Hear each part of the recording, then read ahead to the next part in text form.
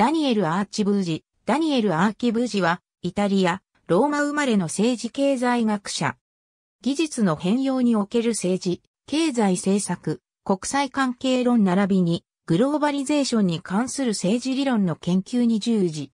ローマ大学経済学部卒業後、イギリスサセックス大学で PhD 取得。サセックス大学、ケンブリッジ大学、ローマ大学教授、ロンドンスクールオブエコノミクス、ハーバード大学での客員教授などを経て、現在イタリア国立研究評議会教授並びに、ロンドン大学バークベック校教授。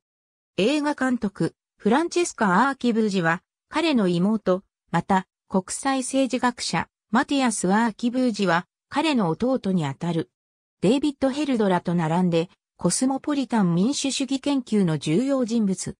国際連合 EU などの国際機構の民主化の提唱など、民主的規範のグローバル政治への適用を提唱。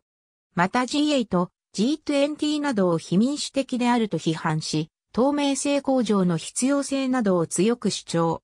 彼は直接選挙によって代表者が選ばれる国際連合議会会議の提唱者の一人でもある。